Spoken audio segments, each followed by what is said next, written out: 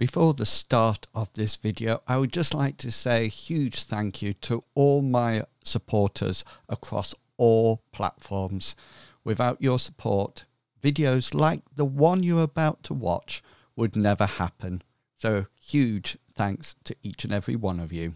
Have you ever wondered whether you have the skills, personalities, or ability to become an effective game master? Do you have the skills that will allow you as the GM to create and deliver fantastic campaign worlds that the players will enjoy and look forward to adventuring in? Well, in this video, I am going to share with you my top five skills that I think every GM should need to be both successful and effective. My name's inwils and welcome to the In Crowd.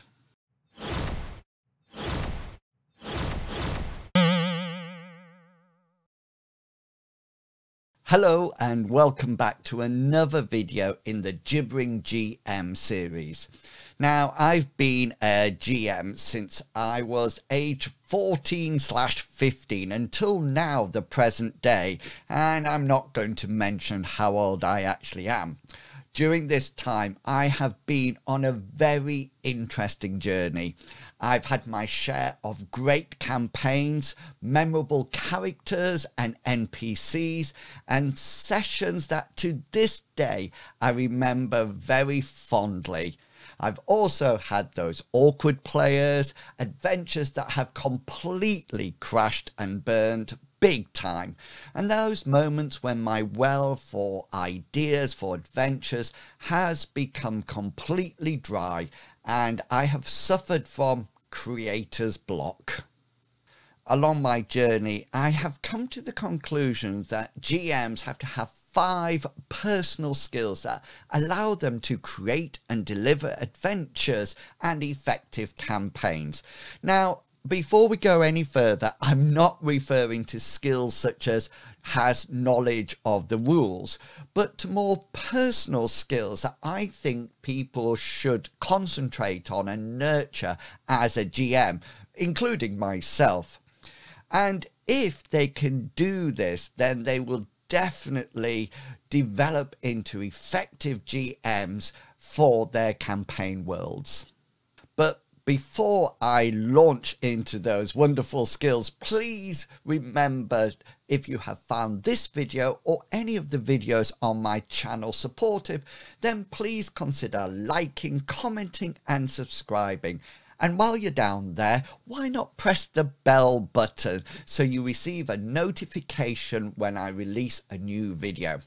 And do stay tuned right to the end of this video when I will be sharing a bonus skill that I find to be super helpful as the GM.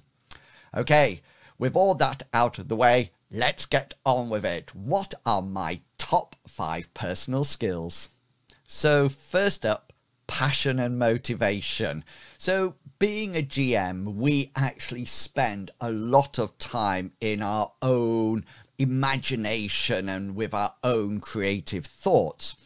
At the end of any session, session that I've GM'd, I usually have a number of ideas, actions or rules that I need to look up and develop, as well as starting to write the next stage in the scenario it's not easy to maintain um, all these things and keep active in the campaign. And that is why I think you have to have that drive, that passion, and that motivation for it you need to always stay in touch with your campaign and the characters and the NPCs within it.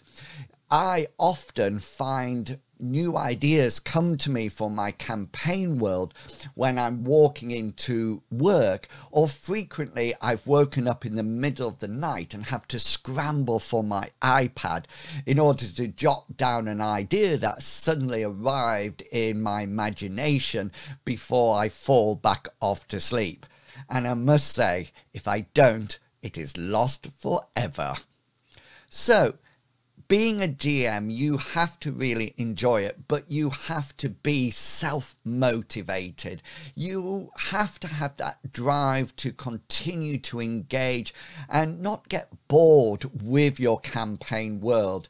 And as long as you have that passion and that motivation, the campaign and the adventures will continue to um, progress and diversify there are times that we might be lacking a bit of motivation or passion, and that's when a really good group of players is so important to us as GM because they understand that sometimes we need a break and agree that we'll have a one week when we're not playing to allow us GMs to refuel our creative juices. So, skill number two be organized. When I first started my journey to become an, an effective GM, back when we were playing Advanced Dungeons and Dragons first edition, I had numerous folders holding large numbers of sheets of paper with dungeons on, NPCs, and ideas, all threaded through all these folders, catalogued via index cards and a contents page. I actually did have one A4 ring binder full of a multi level dungeon that I had created, including maps, room contents, trap information, and even a brand new species of monster. Nowadays, I actually use World Anvil to organize everything. And you can see my review of World um, Anvil. I'll put it in a card somewhere up there. But no matter how or what you use to organize your campaign, you need to ensure that it is organized. You need to have everything at your fingertips at a moment's notice. I'm not suggesting that you need to know or remember everything. What I'm saying is that you need to know where you can find it out there are numbers of times when players mentions to me someone or something that they remember and i suddenly need to think where is that npc what were their motives? What was their plot lines?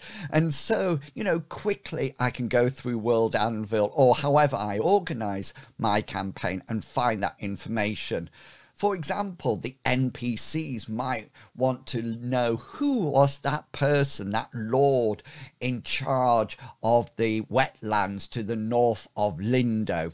Well, being organized pretty soon, if not straight away, I will be able to get that name and share it back to the players. So as well as being organized and being able to locate the rules, I think organization really supports the narrative and the flow of your sessions and actually supports you in creating less stressful um, adventures in the creation stage. I'm happy to share with you how I use World and Anvil if this would be supportive to you. So if it would be, then please do pop it in the comments below. And thirdly, adaptability and flexibility. Now, don't think we're going down the yoga route here. That's not where I'm going at all. I have been trying to make a, a, gibbering GM video for some time now called Whose World Is It Anyway? There was a time that I actually thought that the players should be honoured to play my campaign. I know, I know, very egocentric and filled with my own self importance. But now I subscribe to a more co creation method for the campaign. I have ideas and my players have ideas, and we work together to create the adventure. However, often you, as the GM, have to be decisive in order to um, maintain the feel or the atmosphere of the campaign, and that will require you to make a stand. For me, I try to be as flexible as I possibly can. I'm naturally quite a stubborn person, Or should I say that I'm very highly motivated and have personal drive? Well, one or the other. I often have to bend like a blade of grass in the wind when playing sessions or creating a campaign. I always think we, as or I, as the GM, need to reach a compromise a lot of the time in order to, support both the players and the campaign. I also think that it's important to be flexible with the rule system. I am all about the narrative and the heroic feel of the campaign. I openly admit that sometimes I have been creative or flexible with the rules in order to maintain that feel of the campaign. And I have to say, that is totally and utterly fine to do. And finally, probably the most important skill to have is the ability to keep positive, have fun, and laugh. I really can't stress this enough. If you're not enjoying it and not laughing throughout every session, then give the job up. Give it to someone else. Not because you're no good at it, but because it's meant to be fun.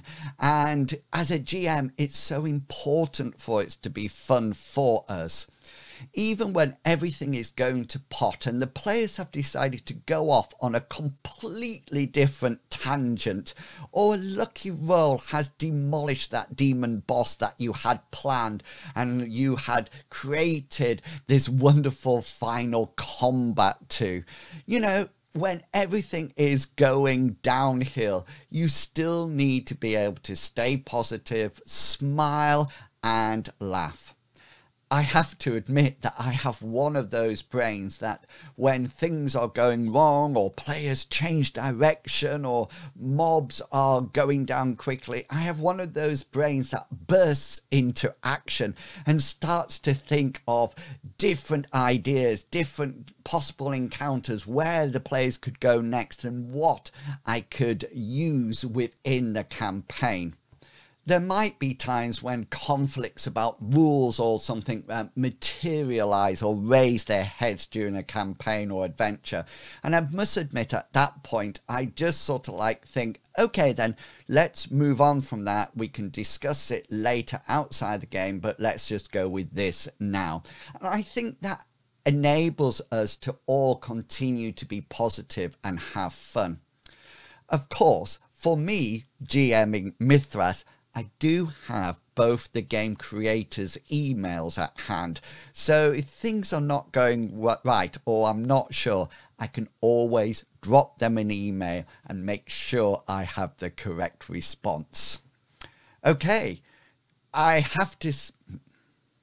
So, if by the end of this session your face isn't sore from laughing or you don't have that feeling of wow, then maybe you need to find another group of players or a different campaign because it is essential as a GM that you're having fun, staying positive, and laughing. So, those are my top five skills for any budding or current GM. Becoming an effective GM takes time and experience. I have done the role for some time now, but still openly confess that I'm still learning and developing. There are plenty of GMs out there streaming their content on Twitch, so spend some time watching and learning how to develop your role. And remember, there's no such thing as a bad experience. Have a look, and decide what you're going to take from that or what you're going to completely leave out. So, if you agree with any of the skills that I've mentioned in this video, or you have some of your own personal skills that you think are important, then why don't you let me know in the comments below? Oh, and just before you go, that bonus skill that I mentioned at the beginning. Well, this is not applicable to all GMs, but I would recommend the personal skill that it has gives you the ability to delegate. You know, as GMs, we are super busy people. Not only do we have all the campaign worlds and the rules to engage with, but we also have real life commitments. Sometimes we have to recognize that we have just too much on. And rather than creating something ourselves or saying we'll do it for the next session, delegate it for to the player. Remember, they are invested in their player, and this will allow them to come up with their own ideas that we can discuss later on as long as we're flexible about it, and that will be included in your campaign. This means that not only do you get some time to do something else, but the players feel valued as well. And that's it. Another Gibbering GM video coming to a close. Remember, don't forget to like, comment, and subscribe. It really does support myself and my channel. So, huge thanks. So, until next time, I hope all your rolls are successful and the bards continue to create songs about your campaign years to come. This is the Gibbering GM returning to his campaign. See you all later. Bye.